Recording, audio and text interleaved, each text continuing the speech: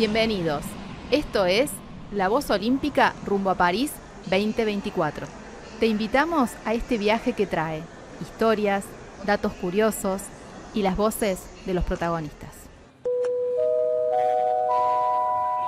Señores pasajeros y señoras pasajeras, bienvenidos al vuelo con destino final a París 2024 y escala en Santiago 2023.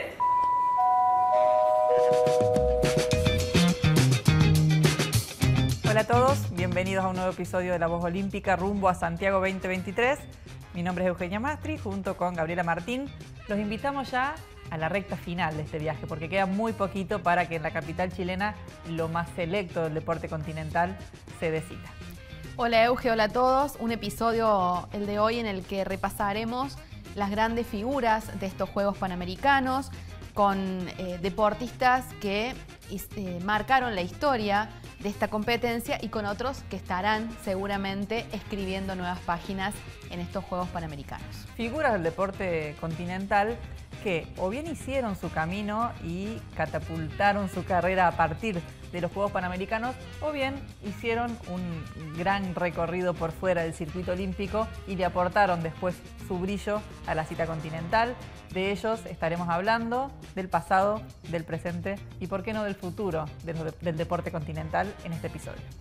Una lista de figuras rutilantes que fue engrosándose a lo largo de la historia y entre los que también hay argentinos tanto en el pasado como en el presente, eh, y que seguramente buscarán eh, futuro en estos Juegos Panamericanos Santiago 2023. Y si hablamos del pasado, tenemos que nombrar a Adelfo Cabrera, el maratonista argentino, que tras ganar el oro olímpico en los Juegos de Londres de 1948, fue el abanderado luego de la delegación albiceleste para los primeros Juegos Panamericanos en 1951, en Buenos Aires, donde además, por supuesto, ratificó su condición de favorito de campeón olímpico y se colgó el oro en Buenos Aires 1951. Y otro argentino que es toda una leyenda es el, boxeador Oscar Natalio Ringo Bonavena, que también fue panamericano en San Pablo en 1963, pero su experiencia en este tipo de competencias no fue de las mejores. Y así como Ringo, hay otro deportista, figura, por supuesto, del continente como Michael Jordan, considerado por muchos el mejor jugador de básquet de todos los tiempos, quien tuvo también su paso en los Juegos Panamericanos, fue en Caracas en 1983, donde Estados Unidos se quedó con la medalla de oro y por supuesto fue el goleador de la selección americana en ese torneo. Un año después se consagró también campeón olímpico en Los Ángeles 1984. Y si hablamos de fenómenos, no podemos obviar al cubano Javier Sotomayor, que sí hizo su carrera basada en el, ciclo olímpico, en el circuito olímpico. Eh, él irrumpió en la consideración internacional precisamente en los Panamericanos de Indianápolis en 1987, su disciplina era el salto en alto. Allí ganó la medalla de oro y después repitió esa, esa ubicación. Fue campeón panamericano en La Habana 1991 y en Mar del Plata 1995 para ratificar esto que decimos, fue oro en los Juegos Olímpicos en Barcelona 1992 y en Sydney 2000. En los Juegos de Winnipeg 1967 apareció Mark Spitz, un nadador estadounidense que marcaría toda una época. Con apenas 19 años logró 5 medallas doradas en esos Juegos Panamericanos y estableció récords mundiales en los 100 y 200 metros mariposas y otros tres récords como parte de los relevos de Estados Unidos. Fue la cita continental, la plataforma que le permitió a Spitz brillar luego en los Juegos Olímpicos de México y en los de Múnich, 1968 y 1972, que transformaron a Spitz en el mejor nadador del mundo hasta la aparición de un compatriota suyo, de Michael Phelps. Y si hablamos de esos Juegos precisamente, allí también irrumpió otro deportista que trascendió los tiempos, que si bien no, no, tuvo una carrera ligada al circuito olímpico, sí lo hizo otro circuito. Eh, se trata de Arthur Ashe, quien hoy eh, le da el nombre al estadio principal del complejo en el que se juega el US Open. Ash fue bronce en individual y oro en el doble en esos Panamericanos de 1967 y estos Juegos fueron el espaldarazo para después eh, lo que sería la carrera del afroamericano. Ganó el US Open, el Abierto de Australia y más tarde Wimbledon un nombre que trascendió al deporte y que quedó inmortalizado en el complejo donde hoy se juega el US Open. Tiramos dos nombrecitos más de estas figuras, ¿no? Por supuesto que a lo largo de tanta historia hay muchos, pero nos quedamos con el cubano, el boxeador Teófilo Stevenson, quien en México 1975 fue campeón panamericano. Él ya había ganado el oro olímpico en Múnich 1972 y repitió en Montreal 76 y en Moscú 1980. Y si hablamos de deportistas que trascendieron al deporte, en San Juan de Puerto Rico en 1979 hizo su aparición uno de los mejores atletas de todos los tiempos, el corredor y saltador estadounidense Carl Lewis que en esos Juegos hizo su primera participación internacional en una carrera en la que después fue campeón olímpico en Los Ángeles 1984, en Seúl 88, en Barcelona 92 y en Atlanta 1996. Bueno, Gaby, ya nos nutrimos de las grandes figuras de la historia de los Juegos Panamericanos para pasar ahora a las grandes figuras que van a estar en Santiago 2023, en los Juegos Panamericanos que se disputarán en la capital chilena son los deportistas que recomendamos que sigan, porque seguramente darán que hablar con sus actuaciones. Y empezamos por la mexicana Alejandra Orozco, que llega como uno de los nombres más importantes a seguir.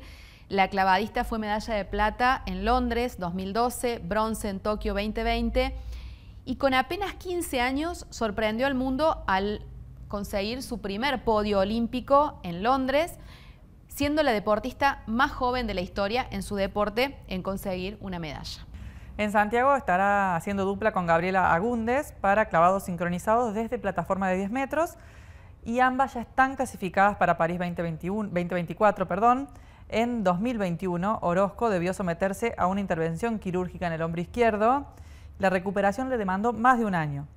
A nivel panamericano tiene tres preseas, pero ninguna es de oro, así que sin dudas que irá por ese primer escalón del podio en Santiago 2023. Bueno, Euge, y otra atleta que vamos a seguir bien de cerca es la brasileña Rebeca Andrade, eh, cuya disciplina es la gimnasia artística una gimnasta de primerísimo nivel, nacida y criada en una favela en el Gran Sao Paulo, tiene 24 años y su carrera está basada en una fuerte resiliencia, se rompió tres veces el ligamento anterior cruzado de una de sus rodillas, pero ella es persistente y como una verdadera estrella en su deporte, llegará a Santiago como subcampeona olímpica en Tokio 2020, eh, perdón, y campeona mundial en Liverpool 2022. Por supuesto que en Santiago 2023 buscará la plataforma para llegar a los Juegos Olímpicos París 2024. Otro deportista a seguir es Daniel Ders, un ciclista venezolano que se destaca en BMX Freestyle que es una disciplina que va por su segundo juego panamericano. Si no lo escucharon, les recomendamos que escuchen el episodio en el que tenemos como invitado al cordobés José Maligno Torres, que será otro de los grandes animadores de esta disciplina, pero nos detenemos en Daniel Ders porque con sus 38 años transita su última etapa como biker profesional y su retiro podría darse en París 2024, aunque todavía no está clasificado para ese evento, pero por supuesto que eh, buscará sumar puntos para el ranking en la capital chilena. ¿Por qué lo destacamos? Porque llega como subcampeón olímpico tras, por supuesto, su medalla de plata en Tokio 2020. Daniel Ders tiene una fuerte ligación con Argentina porque cuando tenía 16 años sus padres llegaron a nuestro país por cuestiones laborales y él, bueno, encontró aquí las condiciones para seguir eh, adelante con su carrera.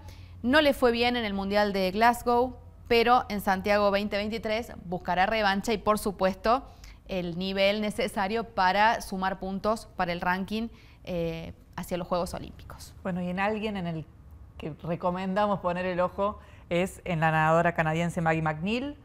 ¿Por qué? Porque llega como campeona olímpica en Tokio en los 100 metros pecho, es la gran favorita en la natación, va a ser la gran figura que tenga la pileta panamericana en Santiago 2023 ocho veces campeona del mundo, tiene apenas 23 años, nació en China, pero al año se mudó a Ontario y allí desarrolló su vida y su carrera.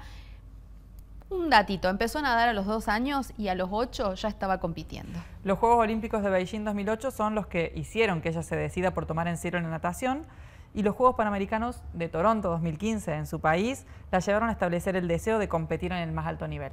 lo va a hacer ahora en Santiago 2023. Y si hablamos de deportes históricos en el programa olímpico, la lucha greco-romana es una de las disciplinas que vienen desde mucho tiempo atrás.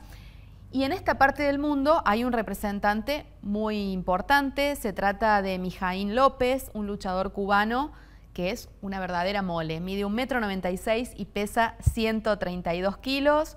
Es cuatro veces campeón panamericano, cinco veces campeón del mundo y cuatro veces campeón olímpico. Un verdadero mito que estará presente en Santiago 2023. En atletismo estará Marilady Paulino, una atleta nacida en República Dominicana que llega como reciente campeona mundial en los 400 metros. Además, en Tokio logró dos medallas de plata en los 400 metros llanos y en la posta 4 por 400. Recién hablábamos, Euge, de deportes históricos, ahora nos vamos a uno de los más nuevos en el programa y para ello traemos al peruano Ángelo Caro en el skateboarding. Eh, tiene 23 años y la mira puesta en París 2024, a donde irá por revancha porque en Tokio 2020 no le fue muy bien, terminó quinto. Sufrió una lesión el año pasado en una de sus rodillas, pero ya se recuperó y viene de ser medalla de bronce en el Campeonato Mundial en República Checa, otro de los deportistas a seguir en estos Juegos Panamericanos. Así como también lo es Anderson Peters, nacido en Granada, un pequeño país insular en pleno Caribe, que es el segundo más pequeño del hemisferio occidental, y tiene a este atleta que compite en lanzamiento de jabalina, él soñaba con ser como Usain Bolt, pero se destacó finalmente en otra disciplina, ostenta dos campeonatos del mundo, una medalla de oro en los Panamericanos pasados y a sus 25 años llegará en gran forma a Santiago 2023. Y la frutilla del postre en el cierre de este punteo de deportistas internacionales Vamos a aclarar que vamos a dejar un capitulito para los argentinos, pero en lo que tiene que ver con representantes de otros países, vamos a dos deportistas locales chilenos eh, que ya fueron designados como abanderados de su delegación. Por un lado, la nadadora Cristel Kovrich, quien está radicada en Córdoba y se entrena bajo las órdenes de Daniel Garimaldi desde 2003 y que también recomendamos que vayan a ese episodio y escuchen eh, las sensaciones y cómo vive la nadadora chilena los Juegos en su país. Eh, estos serán sus sextos Juegos Panamericanos ella fue la primera nadadora chilena en subirse a un podio panamericano eh, al ganar la medalla de bronce en los 800 metros libre en Santo Domingo 2003. También fue la primera campeona panamericana para su país en la natación cuando ganó en Guadalajara los 800 metros. Decías que va a llevar la bandera. Ya Chile designó a sus abanderados. Ella es la abanderada mujer, estará acompañado de Esteban Grimal, quien junto a su primo Marcos integra la dupla del volei playa, compiten juntos desde 2010. Eh, en esa ocasión ganaron el oro en los Juegos Sudamericanos de Medellín y llegarán a Santiago 2023 como vigentes campeones panamericanos porque se subieron a lo más alto del podio en Lima 2019. Imaginamos en un deporte abierto, con todo el, marco de la playa y de la gente que podrá estar alentando, que sin duda tendrán su, cuota extra, ¿no? al talento, al sacrificio, a todo lo que han logrado y todo lo que le ponen al y playa a estos primos, bueno, seguramente como locales podrán conseguir grandes cosas. Son de las grandes figuras que hay que estar mirando en Santiago 2023. Dejamos atrás a los deportistas eh, de otros países y nos enfocamos en el aporte argentino, a las figuras que estarán presentes en Santiago 2023. Y empezamos con el deporte colectivo. Allí Diego Simonet, figura referente de los gladiadores, el chino, que juega en el más alto nivel del handball mundial en Francia y es conocido como el Messi de este deporte. Será sin duda una de las grandes figuras que estarán presentes en Santiago formando parte de la delegación nacional. Fue dos veces campeón con los gladiadores en Guadalajara y en Lima y subcampeón en Toronto. Con el hockey, sin duda Argentina aportará su, cuota de grandes figuras en, en los Juegos Panamericanos, con las leonas que vienen a ser campeonas, subcampeonas, perdón, olímpicas y subcampeonas mundiales. Destacamos acá y en nombre de Panam Sport porque eh, la eligieron para el equipo de grandes referentes de estos Juegos, Agustín Albertario, pero también los Leones tendrán a grandes referentes porque eh, Matías Rey y Agustín Masili son de los Leones campeones olímpicos que aún siguen en la selección y que buscarán tanto como las leonas y los gladiadores, la clasificación olímpica que otorgan los Juegos Panamericanos al campeón para estas disciplinas. y ellos ya tienen la clasificación olímpica, los Pumas 7, pero antes estarán en Santiago 2023, donde buscarán defender el oro panamericano con la mayoría de su plantel que obtuvo el bronce olímpico en Tokio 2020. Y nos pasamos al deporte individual porque ahí sí tenemos dos referentes que por historia se han ganado eh, esta, este mote, esta condición. Cecilia Biaggioli, la única nadadora argentina, la única deportista argentina en ser cinco veces olímpica, fue dos veces medallista panamericana, fue campeona en Guadalajara 2011, fue subcampeona en Lima 2019 y con más de 20 años en la elite del deporte estará de nuevo en Santiago buscando por supuesto subirse al podio. Y del otro lado lo tenemos a Germán Charaviglio, que viene de ser campeón sudamericano de salto con garrocha y es siempre un gran protagonista en los Juegos Panamericanos. Ganó la medalla de plata en Toronto 2015 con su mejor marca personal, 5 metros 75.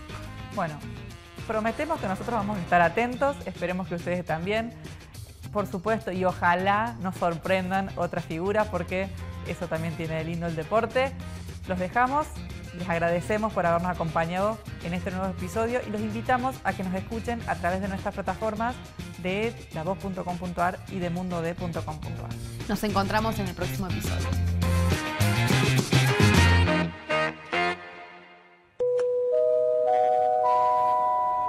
Gracias por acompañarnos en este viaje. Te invitamos a visitar Mundo D para estar al día con todas las noticias del polideportivo. Nos reencontramos en un próximo episodio.